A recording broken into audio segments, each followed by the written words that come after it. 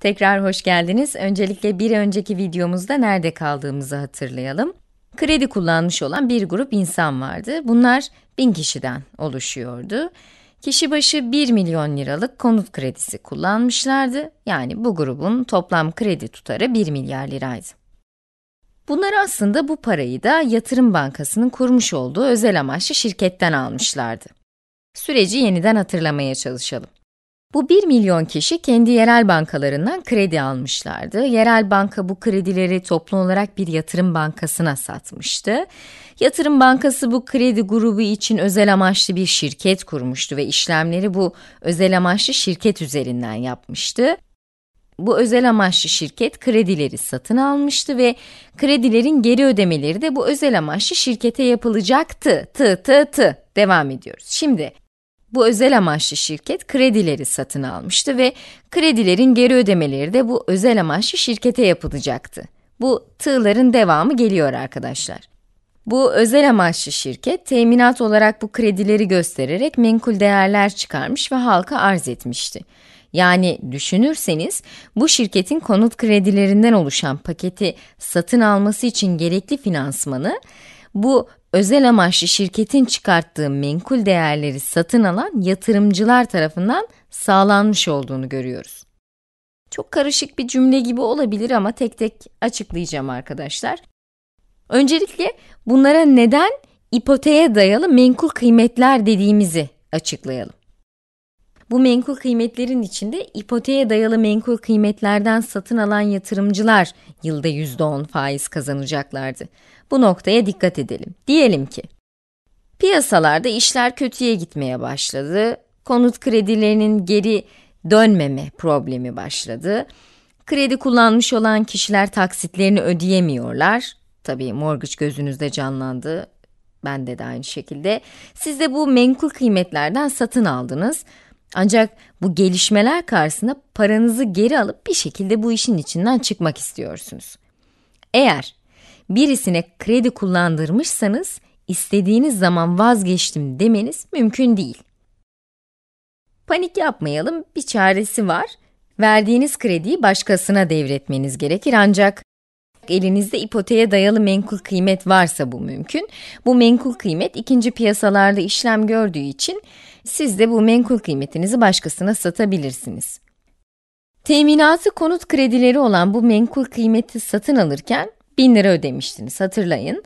Menkul kıymeti satarken elinize piyasa koşullarına bağlı olarak bundan daha yüksek veya daha az bir tutar da geçebilir. Artık şansınıza ne çıkarsa. Elinizdeki bu menkul kıymeti sattığınızda piyasadaki fiyatlara göre belirlenecek bir tutar geçecektir elinize.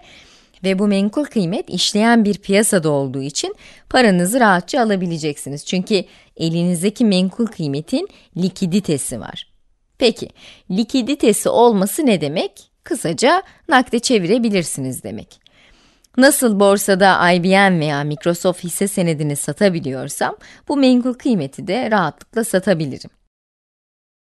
Bu bir menkul kıymet, bundan herhangi bir şüphemiz yok ancak menkul kıymetin değerinin ne olduğunu belirlemek için bir analiz yapmamız gerekecek. Bu analizi yaparken de eskiden borç taksidini düzgün ödeyen bu kişilerin artık ödeyip ödeyemeyeceklerini, gelecekte neler olabileceğini, piyasadaki kısa faiz oranlarını, bu ve bunun gibi pek çok şeyi göz önünde bulundurmanız gerekecek. Tabi bu tür bir analiz yapmak e, her baba yiğidin harcı değil arkadaşlar. Gerekli finansal modelleri oluşturacak bu kişi. Detaylı analiz yapabilecek. E, bu kadar sofistike finans bilgisine sahip insan sayısı maalesef günümüzde çok az. Hatta şunu da söyleyebilirim, bazen çok sofistike finans bilgisine sahip kişilerin bile oluşturduğu modelleri sorgulayamıyorum. Bu analizi yapıp yatırım kararı alan insanlar haricinde başka bir yatırımcı grubumuz daha var. Kimi bunlar? Örneğin bu kişi. Her zaman menkul kıymetlere yatırım yapar ancak bu yatırımın çok riskli olduğunu düşünür. Yatırım tercihlerini belirleyen en önemli etken ise yapacağı yatırımın risk düzeyidir. Eğer düşük risk seviyesinde ise ürünlere yatırım yapar. Dolayısıyla da daha düşük riskli bir ürüne yatırım yaptığı için getirisinin de daha az olmasına razı oluyor. Böyle düşünmesinin tabii ki farklı sebepleri olabilir. Mesela kanunen riskli yatırımlar yapamıyordur. Örneğin emeklilik fonlarının portföylerini yönetirken yatırım yapabilecekleri varlık sınıflamalarında belirli kısıtlamalar vardır. Kredi notu belli bir seviyenin altında olan menkul kıymetleri satın alamazlar. Burada da bir başka yatırımcı var. Bu yatırımcı rakamlara bakıyor ve bu rakamları oldukça sıkıcı buluyor. Yani %9 ve %10 gibi faizler onun için oldukça düşük. Daha yüksek getiriler elde etmek istiyor. Ancak bu menkul kıymet, yüksek getiriler sağlamak isteyen bu yatırımcının beklentisini maalesef karşılayamıyor. Şimdi mevcut menkul kıymetimizi alıp bir ileri seviyeye taşıyacağız. Yani boyut atlıyoruz arkadaşlar. Elimizdeki teminatı konut kredileri olan ipoteğe dayalı menkul kıymetimizi alacağız ve bunun üzerine türev bir ürün geliştireceğiz. Bu varlıkları alacak, farklı risk iştahlarına ve getiri beklentilerine sahip olan değişik yatırımcı gruplarına hitap edecek şekilde yeniden düzenleyeceğiz ve gruplandıracağız. Yani türev bir ürün oluşturacağız. Oldukça heyecanlı. Şimdi elinizde bir bütün var. Bunu değişik yatırımcı gruplar için parçalara ayırıyorsunuz. Değişik yatırımcı profillerine sahip olan bu kişileri tatmin edecek nasıl bir gruplama yapabiliriz? Onu düşüneceğiz.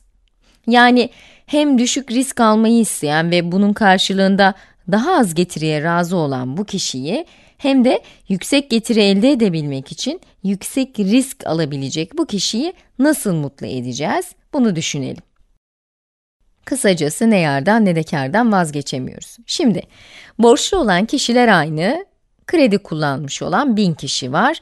Kişi başı 1 milyon lira toplam kredi portföyü 1 milyar. Ve bu kredi portföyü de kurulmuş olan özel amaçlı şirketin elinde. Bu özel amaçlı şirketi aslında istediğiniz kadar bölebilirsiniz ancak bizim örneğimizde 3 bölüme ayıracağız. 3 dilime ayıracağız da diyebiliriz. Şimdi bu 3 dilime değişik isimler verelim. Yüksek riskli, orta riskli ve az riskli şeklinde ayıralım bunları. Tabii ki bu anlattıklarımız Amerika piyasalarındaki uygulamalar. Aslında bu finansal uygulamalarının çoğu uluslararası geçerli ancak yine de kanunlar, mevzuatlar, düzenleyici kurumların öngördüğü uygulamalar, kısacası kurallar diyelim, bir ülkeden diğerine değişiklik gösterebiliyor. Ben e, sadece temel bilgileri, genel işleyişi açıklamaya çalışıyorum. Az riskli gruptaki menkul kıymetlerden satın alan yatırımcılar, en korumalı durumda olanlardır. İşler kötüye gittiğinde paralarını geri alma ihtimali en yüksek bu grupta vardır. Orta riskli yani ortada yer alan gruba bakalım. Bu gruptaki yatırımcılar getirileri ve aldıkları risk az riskli gruba göre daha yüksek olacak ve aldıkları risk de yüksek risk grubundakilerine kıyasla daha düşük olacak ve geldik en riskli gruba yani yüksek risk grubuna. İşlerin kötüye gitmesi durumunda ilk zarar edecek olan grup yüksek risk grubudur. İşler kötüye gitmesi derken bunu bir örnekle açıklayalım. Diyelim ki kredi kullanmış olan bu kişilerden bir kısmı artık kredilerini geri ödeyemiyorlar. Geri ödeyemeyenler olduğunda bu bedeli yüksek risk grubundaki menkul kıymeti alan yatırımcılar ödemiş oluyor. Orta riskli ve az riskli gruplara yatırım yapmış olan kişiler bundan zarar görmüyorlar. Burada bir tablo oluşturdum. Bu 1 milyar liralık kredi portföyü, 400 milyon lira az risk grubu, 300 milyon lira orta risk grubu ve diğer 300 milyon lira da yüksek risk grubu üzerinde ayırdım. Az risk grubundaki 400 milyon liralık teminatlandırılmış borç yükümlülüğü için 400 bin adet az riskli menkul değer ihraç ettik. Her birisi 1000 lira. Buraya çizdiğim gibi. 400 bin adet menkul kıymet, teminatlandırılmış borç yükümlülüğü ve her birisi 1000 lira. Burada da toplamı 400 milyon lira. Teminatlandırılmış borç yükümlülüğünü kısaca CDO şeklinde tanımlandığını da duyabilirsiniz. Bu grupta 400 milyon lira topladık ve bu gruptaki yatırımcılara da diyelim ki yıllık bazda %6 faiz ödüyoruz. %6 çok yüksek bir oran değil diye düşünebilirsiniz. Haklısınız da %6 çok yüksek bir oran değil ancak hatırlayın bu yatırımcılar en düşük risk grubundakiler. İşler kötü gittiğinde parasını ilk geri alacak olan yani önceliği olan kişiler bu gruptalar. Ancak özel amaçlı şirketin varlığının değeri 1 milyar lira, varlığın değeri 1 milyar liradan 400 milyon liranın da altına inerse zarar riskleri olacak. O noktaya kadar az risk grubu korumalı durumda. Belki bu hesaplamalar konusunda daha detaylı başka bir videoda yapabiliriz. Bu örneğimizde her yıl 100 milyon liralık kredi geri ödemesi yapılacağını söylemiştik. Çünkü faiz oranı %10 demiştik. 1 milyar lira kredi, %10 faiz, her yıl 100 milyon liralık faiz ödemesi geliyor. Gelen bu 100 milyon liralık faiz ödemesinden az risk grubundaki yatırımcılara ne kadar gidecek onu hesaplayalım. 400 milyon lira üzerinden %6 bu grup 24 milyon lira alacak. Az risk grubu için yapılacak ödeme tutarı demek ki 24 milyon liraymış. Aynı şekilde orta risk grubuna bakalım. Burada da tanesi 1000 liradan 300 bin adet teminatlandırılmış kredi yükümlülüğünü sattık. Diyelim ki bu grubun faizi yıllık bazda %7 olsun. Az riskli gruba göre bunlar biraz daha yüksek faiz alıyorlar. Her grup için verilecek faiz oranı piyasa koşulları göz önünde bulundurularak belirleniyor. Bizim orta grubumuzun alacağı yıllık faiz oranı %7 olsun dedik. Bu gruptan 300 bin adet menkul kıymet ihraç etmiş olduğumuza göre 300 bin adet çarpı %7 dersek bu grupta 21 milyon lira alacak. Kredi portföyünden gelen 100 milyon liranın 24 milyon lirası az riskli gruba, 21 milyon lirası da orta risk grubuna gideceğine göre.